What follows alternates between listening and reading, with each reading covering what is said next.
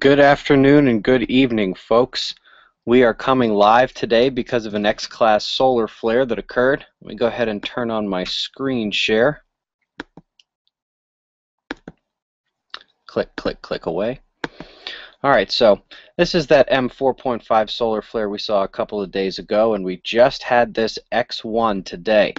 Uh, looking at the last six hours, you can see the rise here. Uh, we broke into M range uh, right in the middle of the 1700 hour, and we didn't come out of it until right in the middle of the uh, the 2000 hour. So we're looking at one, two, three hours above M1 range. Uh, that's a long duration flare, and it peaked out. Let's see down here at X1.6. So coming over to the integrated space weather application from NASA, I've got the SDO AIA 131 on the left and the SDO AIA 193 on the right.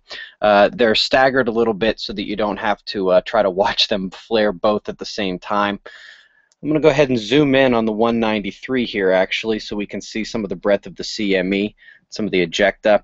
I don't know if you could see that, but that went out in pretty much all directions, up, down, left, right the corona is pretty well rippled. This is a pretty direct uh, Earth uh, Earth facing solar flare.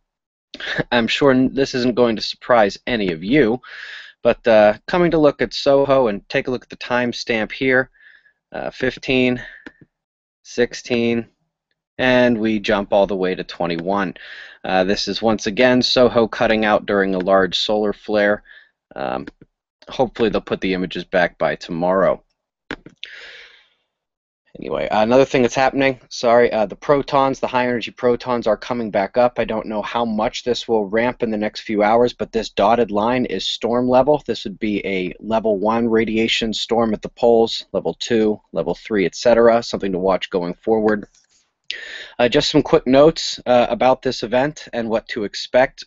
First of all, don't forget that at some point, either late tomorrow or early on the 12th, we should expect CME impact from the M4.5 from a couple of days ago, and we will definitely see some auroras, and we may even see a geomagnetic storm. This is far more Earth directed. There is virtually no chance that this CME will miss Earth. Uh, geomagnetic storms are highly likely. Now, two points, kind of a point and a counterpoint before we uh, cut this off for the day, and uh, we'll, you know, seek to regroup in the morning. This is one of the most uh, central disk X flares uh, of this cycle. Uh, most of the larger flares that we've seen thus far this solar max have been on the limb. Uh, this is pretty well Earth directed, um, and so we can definitely say that a geomagnetic storm is expected. Uh, however, um, in terms of something to be worried about, uh, normally you wouldn't say there's anything to be worried about here. Uh, an X-class solar flare is the highest flare uh, that we can, the, the class of flare that we can have. But we've taken X2s, X3s, uh, even an X6 point, uh, even an X6 uh, earlier in the cycle.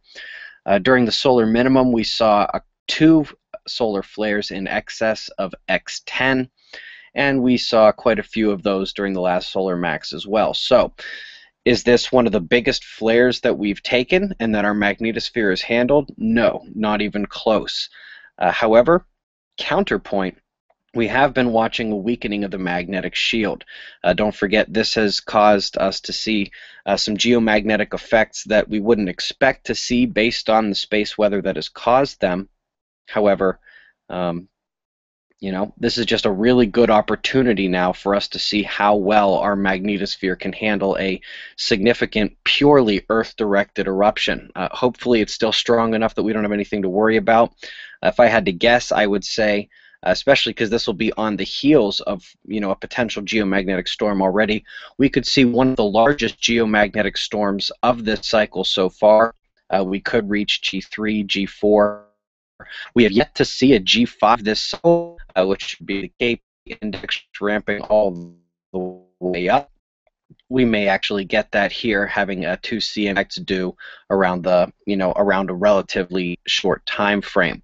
Uh, by tomorrow, hopefully, the Enlil spirals will be updated. Hopefully, we'll have a good idea about when NOAA and NASA expect this CME to arrive. And given our weaker magnetosphere, definitely something to watch for. How does our system handle this? I will catch you guys in the morning. Be safe, everyone.